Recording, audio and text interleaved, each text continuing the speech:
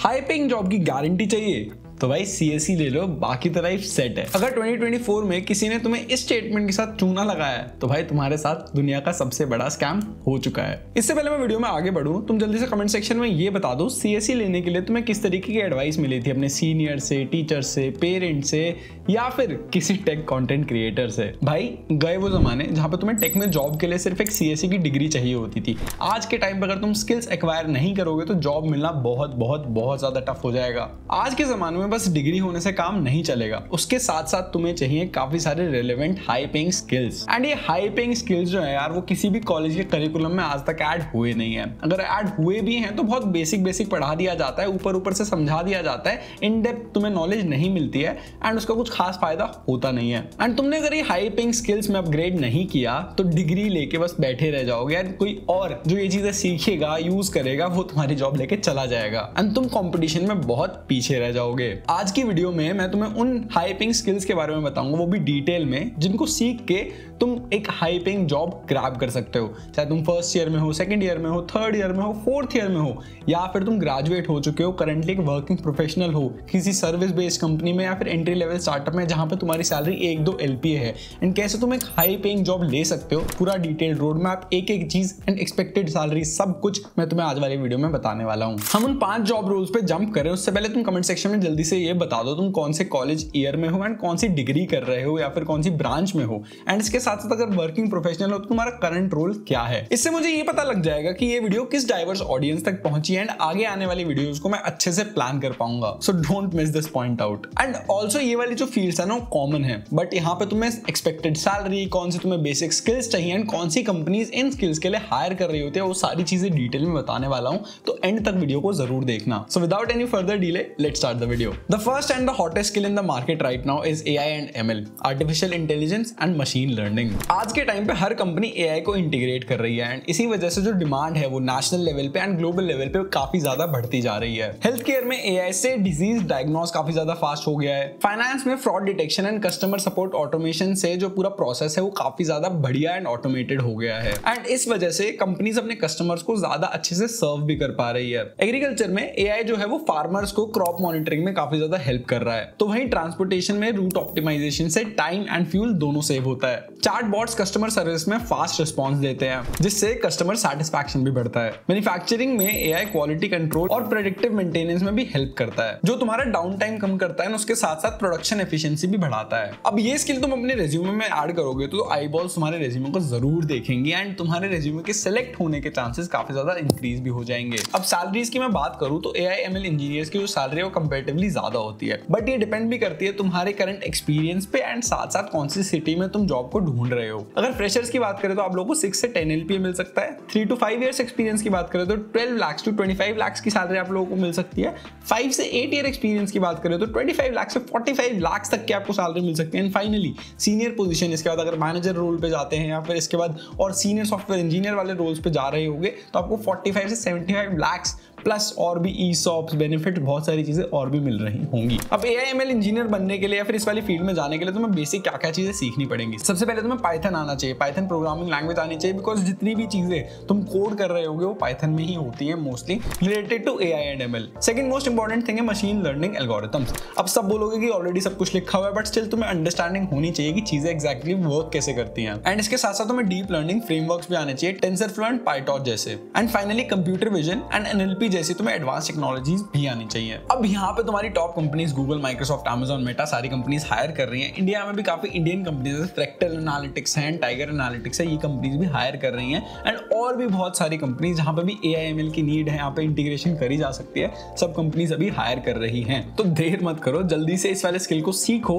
And अपने portfolio में भी ऐड कर लो। ए आई एम एल के बाद सेकंड जो हाई पेइंग स्किल है, वो तुम्हारी data science and big data analytics आ जाती है। अब हर बिज़नेस में ना बहुत ज़्यादा डिफरेंट तरीके का डेटा होता है from customer behaviour to market trends and जितना भी डेटा आज के टाइम पे एग्जिस्ट करता है, उसमें से 90 परसेंट जो डेटा है, वो तुम्हारा लास्ट दो साल में जनरेट हुआ है 2021 से लेके 2023 तक. एंड अप्रोक्सीमेटली 402 मिलियन टेराबाइट्स का डेटा हर दिन जनरेट हो रहा होता है. And have a look at this graph and see हर साल ग्लोबल डेटा किस स्पीड से इंक्रीज हो रहा है. एंड कंपनीज़ के लिए इस डेटा से इनसाइट्स निकालना ना एक गोल्ड माइन की तरह है. अब जितना ज़्यादा तुम इनसाइट्स निकालोगे, उतना अपना प्रोडक्ट को सेल कर पाओगे या फिर अपनी चीज़ों को इंप्रूव कर पाओगे. पाओगे। अब कंपनीज़ अब डेटा ड्रिवन डिसीज़न ले रही हैं विच मीन पूरा बिज़नेस स्ट्रैटेजी डेटा के इनसाइट्स पे डिपेंड करता है। फॉर्म्स प्रिडिक्ट कर सकती हैं कि कस्टमर्स की प्रेफरेंस क्या है एंड वो क्या खरीदने वाले हैं, क्या करने वाले हैं, क्या क्या करेंगे। And they can optimise their operations and reduce unnecessary costs and ये वाली स्किल ना उन सब के लिए बिल्कुल परफेक्ट है, जिनको डेटा एंड नंबर्स को देख के मज़ा आता है। एंड मेरे एक दोस्त ने रिसेंटली इस वाले स्किल को मास्टर करके 35 लाख का पैकेज उठाया एंड तुम मानोगे नहीं, वो मेरे से बस एक साल ज़्यादा एक्सपीरियंस है। अब जल्दी से data science and data analytics के जो बेसिक सैलरी है एवरेज सैलरी उसके बारे में डिस्कस कर लेते हैं।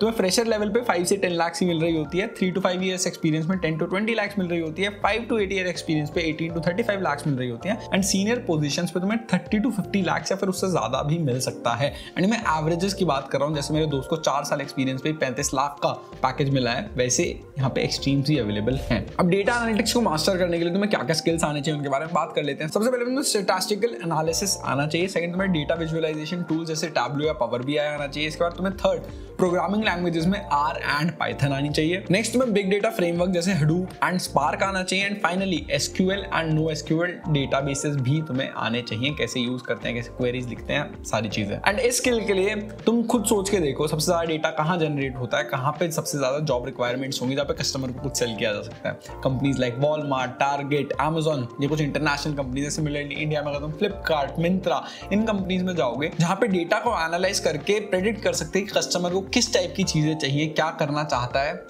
सारी चीज़ें। तो इस टाइप की कंपनीज़ में तुम अप्लाई कर सकते हो यहाँ पे अभी हायरिंग भी हो रही है। डेटा साइंस एक ऐसी फ़ील्ड है जो फ्यूचर में और ज़्यादा इन डिमांड आएगी बिकॉज़ डेटा इंक्रीज करता जाएगा इनसाइट्स निकालना बहुत ज़्यादा इंपॉर्टेंट होगा। And if you are a student जो अपने मैथ्स टीचर का फेवरेट होता था स्कूल में कॉलेज में तो this is made for you third hyping skill आ जाती है साइबर सिक्योरिटी जैसे मैंने आप लोगों को लास्ट पॉइंट में मेंशन किया था कि data is a gold mine for companies and उनके लिए आज के टाइम पे सबसे बड़ा थ्रेट है ये hackers and cyber criminals and digital threat जो तुम्हारे हैं, वो इतने ज़्यादा सीवियर एंड सीरियस होते हैं कि बस एक छोटे से डेटा ब्रीच से ही करोड़ों का नुकसान हो जाता है। Customer data financial record intellectual property इन सारी चीज़ों का लॉस हो सकता है and company can suffer a lot अब ये सब जो है काफ़ी सेंसिटिव इंफॉर्मेशन एंड हैकर्स के लिए गोल्ड माइन है। एंड कंपनीज़ के पास अगर साइबर सिक्योरिटी एक्सपर्ट नहीं होते हैं स्ट्रॉन्ग साइबर सिक्योरिटी एक्सपर्ट तो जो उनका पूरा फ्यूचर है, वो भाई रिस्क पे रहता है। क्योंकि इतना सारा डेटा जनरेट होता है, इतना सारा इंपॉर्टेंट कस्टमर डेटा है। प्राइवेट डेटा है जो अगर पब्लिकली लीक हो जाएगा तो बहुत ज़्यादा प्रॉब्लम हो सकती है। तो छोटी कंपनी से लेकर बड़ी कंपनी तक हर जगह साइबर सिक्योरिटी प्रोफेशनल्स की ज़रूरत डेफिनेटली होती है। अब सैलरी के बारे में बात कर लेते हैं फ्रेशर्स के लिए यहाँ पे तुम्हें पाँच से दस लाख की एवरेज सैलरी मिल जाती है। Three to five years experience पे तुम्हें बारह से बीस लाख का पैकेज मिल सकता है। पाँच से आठ ईयर्स एक्सपीरियंस पे तुम्हें चौबीस से चालीस लाख तक का पैकेज मिल सकता है। एंड सीनियर पोजिशन जैसे सी आई एस ओ तुम्हारा चीफ इन्फॉर्मेशन सिक्योरिटी ऑफिसर यहाँ पे भाई तुम्हें करोड़ों में भी पैकेज मिल सकता है। बट एवरेज अगर तुम देखो तो फिफ्टी लाख से 1.2 करोड़ तक का पैकेज यहाँ पे मिल जाता है। अब किसी भी कंपनी में तुम्हें साइबर सिक्योरिटी रोल में जाने के लिए ये सारे स्किल्स चाहिए होंगे। सबसे पहले network security application security cloud security penetration testing and तुम्हें टूल्स आने चाहिए जैसे एन मैप एंड वायरशार अगर मैं टॉप कंपनीज़ की बात करूँ तो आईबीएम सिस्को माइक्रोसॉफ्ट में साइबर सिक्योरिटी के लिए लोग हायर होते रहते हैं। और इंडियन आईटी जाइंट जैसे H C L T C S Wipro ये सारी कंपनीज़ भी काफ़ी ज़्यादा लाइक क्वांटिटी में हायर करते हैं इन इंजीनियर्स को। अभी मैंने लास्ट तीन हाइपिंग स्किल्स की बात करी। अब तुम्हारे दिमाग में एक क्वेश्चन आ रहा होगा, यार, निशांत, मैं ये सारी चीज़ें शुरू कहाँ से करूँ? मेरे को तो कोडिंग आती नहीं है। If I want to start I need to start somewhere right अब इस कंफ्यूजन को दूर करने के लिए I am telling you about AlgoPrep X अब एल्गोप्रेप एक्स पे आप लोगों को साढ़े चार सौ घंटे से ज़्यादा कॉन्टेंट मिल जाता है, जिसमें आपको डीएसए बेसिक लैंग्वेज जावा सिखा दी जाती है। इसके साथ साथ आपको लो लेवल डिज़ाइन आपको web development H T M L C S S JavaScript React Next J S and इसके साथ साथ नोड जेएस जैसी सारी चीज़ें भी सिखाई जाती हैं। एंड बस इतना ही नहीं कोर सब्जेक्ट्स प्रॉम्प्ट इंजीनियरिंग सब कुछ आपको एक ही जगह पे मिल जाता है। एंड साथ साथ आप अपनी क्वेश्चंस की प्रैक्टिस भी यहीं पे कर सकते हैं, चाहे वो डीएसए हो, चाहे वो वेब डेवलपमेंट हो, चाहे वो एलएलडी हो। एंड अगर आप लोगों को हाई पेइंग जॉब चाहिए तो आप लोगों को पहले फाउंडेशन स्ट्रॉन्ग करना बहुत ज़्यादा इंपॉर्टेंट है। एंड जितने भी यहाँ पे कोर्सेज हैं, इस एल्गोप्रेप एक सब्सक्रिप्शन के अंदर, वो सारे आपको बिगिनर फ्रेंडली मिल जाते हैं। अगर आपको कुछ भी नहीं आता है तो आप बिल्कुल स्क्रैच से सारी चीज़ें सीख सकते हैं। एंड आपको जो पढ़ाया जाता है, वो टॉप इंडस्ट्री एक्सपर्ट ने पढ़ाया है। People are working at Google people are working at Indian big tech startups जैसे कार्स 24 सब कुछ वो पढ़ाते हैं। एंड जो ये पूरा सब्सक्रिप्शन आपको काफ़ी पॉकेट फ्रेंडली प्राइसेस पे मिल जाता है। There are three option one year two year and four year अगर आप चार साल का लेते हो तो पर ईयर आपको fifteen hundred two thousand type का पड़ रहा होता है ये पूरा सब्सक्रिप्शन एक बार अगर बाहर खाने जाओगे तो इससे ज़्यादा पैसे तुम खर्च कर दोगे। आई नो तो डेफिनेटली जाओ। The link is in the description do check it out next हमारा आता है ब्लॉकचेन डेवलपमेंट अब ब्लॉकचेन की जो स्ट्रेंथ है, वो है इसकी ट्रांसपेरेंसी एंड सिक्योरिटी अब जो तुम्हारे ट्रेडिशनल सिस्टम्स होते हैं उसमें मैनिपुलेशन एंड फ्रॉड करने के चांसेस बहुत ज़्यादा होते हैं। बट ब्लॉकचेन में तुम ऐसा कुछ नहीं कर सकते। बिकॉज़ ब्लॉकचेन में जितने भी तुम्हारे ट्रांजेक्शन होते हैं, वो इम्यूटेबल होते हैं एंड इसके साथ साथ ट्रांसपेरेंट होते हैं। अब क्रिप्टो करेंसी के अलावा भी ना, इसके बहुत सारे एप्लीकेशन है। मैंने कॉलेज में खुद भी ब्लॉकचेन करा हुआ है। तो सबसे पहले तुम्हारा स्मार्ट कॉन्ट्रैक्ट आ जाता है, जिससे तुम बहुत सारी application and real world project भी बना सकते हो। इसके साथ साथ तुम्हारा supply chain management finance government sector and data integrity हर जगह पे ब्लॉकचेन को यूज़ किया जा सकता है। एंड स्टार्टअप से लेके एमएनसीज ब्लॉकचेन में काफ़ी ज़्यादा हाईली इन्वेस्ट कर रही हैं। तो अब सैलरी स्ट्रक्चर की बात कर ले तो फ्रेशर्स की जो सैलरी है वो छह से दस लाख आप लोगों को मिल जाती है। Three to five years experience में दस से पच्चीस lakh five to eight years experience में twenty five to forty eight lakh lead position में forty five to seventy lakh rupees मिल जाता है। एंड ये इंडियन सैलरीज की बात कर रहा हूँ, अगर आप रिमोट स्टार्टअप्स में काम करते हैं रिमोट जॉब करते हैं तो आपको सेवेंटी लाख एट्टी लाख तो स्टार्टिंग पैकेज भी मिल सकता है। अब यहाँ पे स्किल्स आप लोगों को क्या आना चाहिए? आपको सबसे पहले बेसिक ब्लॉकचेन की नॉलेज होनी चाहिए एंड आपको एक प्रोग्रामिंग लैंग्वेज आनी चाहिए। जावास्क्रिप्ट सबसे ज़्यादा यूज़ होती है तो वो आपको डेफिनेटली आनी चाहिए। नेक्स्ट हमारे स्मार्ट कॉन्ट्रैक्ट्स लिखना आता है, फिर सॉलिडिटी एक लैंग्वेज है स्मार्ट कॉन्ट्रैक्ट्स लिखते हैं तो वो भी आप लोगों को आनी चाहिए। Web three dot J S ये जो फ्रेमवर्क है पूरा वेब थ्री के लिए यूज़ होता है, जावास्क्रिप्ट तो इसलिए मैंने पहले बोला था कि जावास्क्रिप्ट डेफिनेटली आनी चाहिए। एंड फाइनली ब्लॉकचेन के जो पूरे ऐप्स हैं, वो कुछ प्लेटफॉर्म्स बनते हैं। सबसे ज़्यादा जो बनता है वो आपका इथीरियम पे स्मार्ट कॉन्ट्रैक्ट्स बन रहे होते हैं। एंड नेक्स्ट जो चीज़ होती है, वो हाइपर लेजर होता है, जिसको आप लोगों को पढ़ना पड़ेगा।